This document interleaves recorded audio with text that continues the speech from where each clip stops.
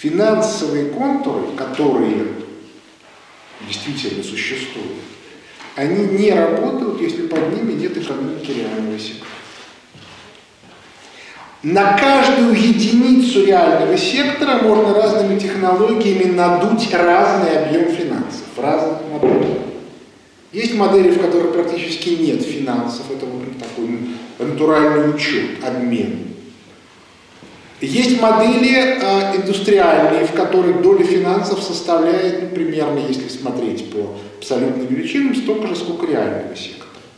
Есть модели чисто финансовые, где доля финансовых активов начинает превышать реальный сектор на порядок.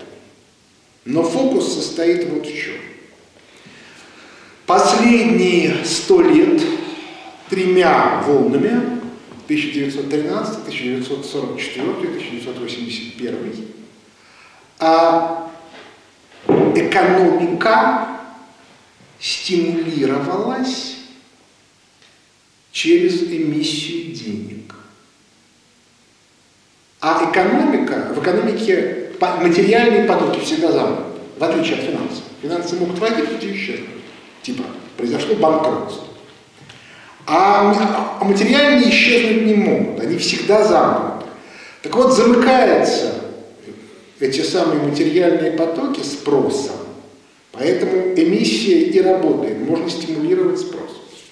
Так вот, вся проблема нашей жизни состоит в том, что современная экономика в реальности намного больше, чем существует реального спроса.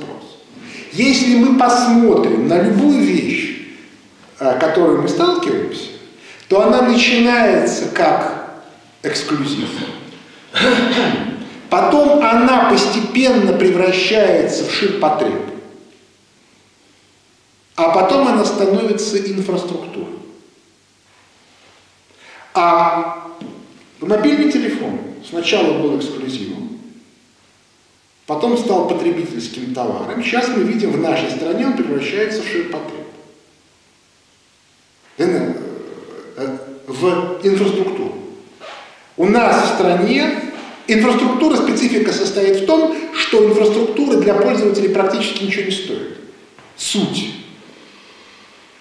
А государство ее поддерживает. Азиатский способ производства, Петя, это создание инфраструктуры.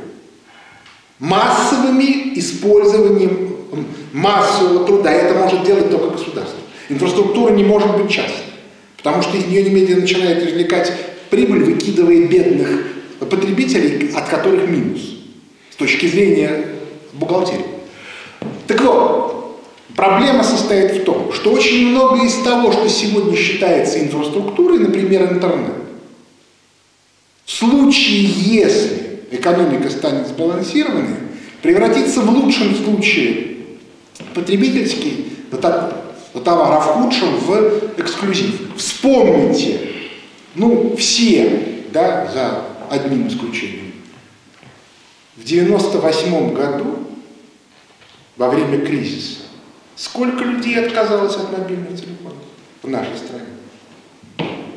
Мобильные телефоны мгновенно, они уже почти что стали потребительским товаром в 96-м, в 97-м, потому что спрос поддерживается за счет высокого курса рубля искусственно. А потом бабок.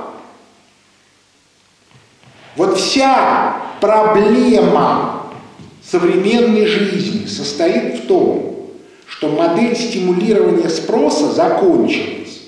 Объективно, он просто дальнейшая миссия больше не вызывает спроса. То есть номинальный рост имеет место, что в США, что в Западной Европе, кстати, в Японии уже нет. Но в реальности нет роста. И все это понимают, потому что падает жизненный уровень среднего класса, сокращается количество людей в среднем, это все видят.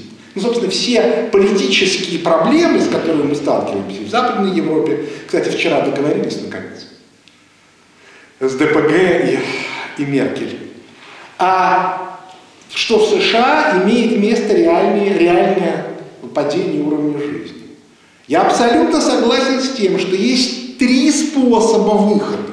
Это война, что делает война?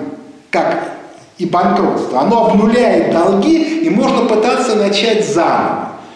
Но проблема в том, что любая война – это снижение спроса, и банкротство – снижение спроса.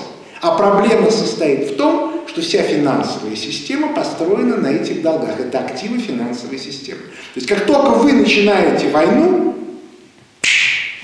у вас, соответственно, наступает для финансистов катастрофа. Обращаю ваше внимание, они тянут. Ну, ну, ну вот сейчас-то понятно то, о чем мы писали в 2000 году, в первой нашей работе. Но устройте вы вот этот вот кризис осенью 2000 уже был бы рост экономический. Почему они этого не сделали? Они идиоты? Нет. Они-то это понимают. А потому что в тот момент, когда они бы это сделали, они бы власти лишились. Вся проблема не, в, как бы, не, не только в экономике, но и кто является бенефициаром. Почему я говорил о валютных зонах еще тогда, в начале 2000-х? Потому что это способ сохранить этих бенефициаров на региональном уровне. И тогда они в этом будут заинтересованы. Ну, не все, конечно, но часть, по крайней мере. Потому что сохранить это вот в этой вот глобальной системе под финансистов сделано уже невозможно. Механизм больше не работает. По этой причине наша задача в нашем региональном контуре выращивать такого рода элиты. Правильно говорит Руслан, невозможно у нас работать в паре с Китаем, потому что на фоне Китая нас вообще не видно. Но тут надо добавить маленькое обстоятельство. Дело в том, что нас не видно, потому что мелкоскоп, которым смотрится, он финансовый. Сегодня экономика – это экономика монетизации. Если мы монетизируем Россию так же, как Соединенные Штаты Америки, у нас ВВП будет не 1,2, а как минимум где-то 4-5. При том, что в Штатах реально около 11-12.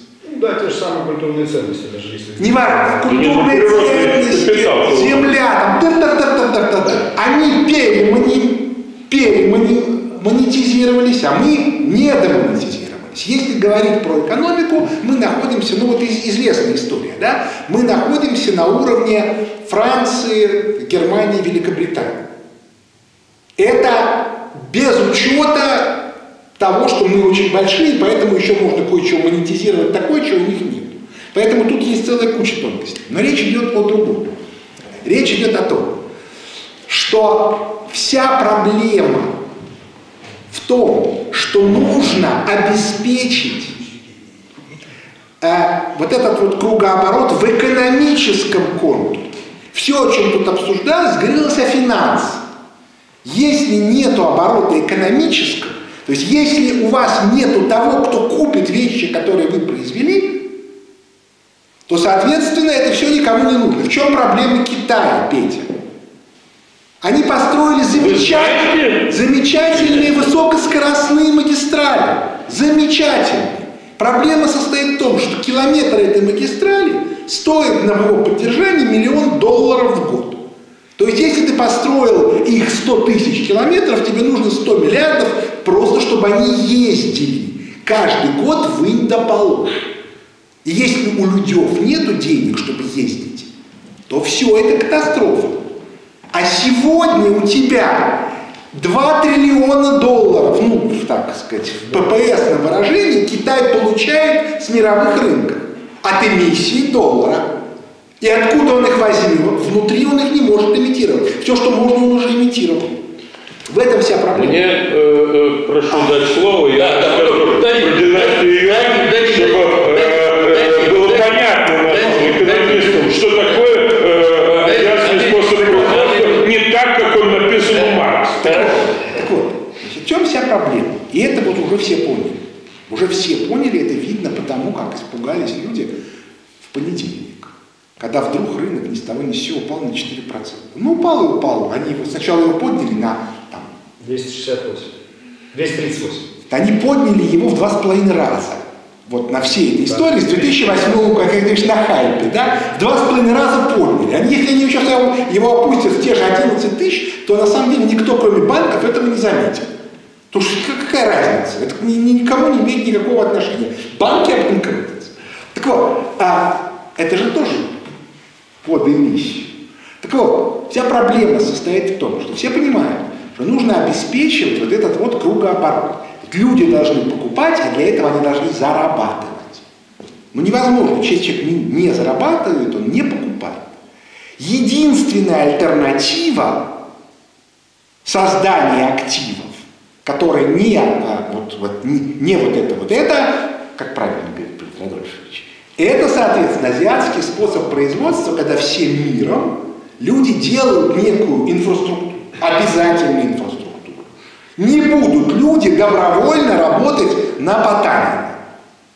Ну, бессмысленно, да, если вы сейчас... А давайте всем миром выроем в Норильском никеле еще одну шахту. Что народ скажет? А что это? Вот, так вот, а, даже за звание Героя Труда. Так вот, а, проблема состоит в том, что мы должны выстроить контур экономический, который был, который был бы, в котором бы этот вот цикл бы работал. Тут выясняется, что сделать его на уровне мира уже невозможно. А на уровне региональном возможно. И вот это вот один из инструментов, которым можно создавать активы. Я еще раз повторяю, один к одному, да, это моя программа восстановления сбережений граждан, написанная в 1995 году. Она там немножко по-другому была сформулирована, мы не использовали, естественно, никакие крипто деньги, у нас все, все было проще. Если интересно, могу как-нибудь рассказать. Более того, она даже где-то в архивах правительства лежит, потому что суть я помню, а расчеты я, естественно, уже не помню. Так вот, э, вся проблема состоит в том, что необходимо обеспечить вот этот вот кругооборот. Товар, потребление, работа. Если вы этот, этот кругооборот не обеспечите, то дальше катастрофа. А если вы его обеспечиваете, то финансовую систему можно делать разную. Крипторубль, и вообще как бы крипто, нужна для одной единственной задачи, чтобы вывести денежную систему, без которой сложная экономика существовать не может, из-под контроля нынешних бенефициаров финансовой системы. Это единственное, для чего это нужно. А, а так вообще говоря, Серега. Немножко ее перефразируя, которая звучит так. Просвещение в России надо внедрять умеренно, по возможности, избегая коррупции.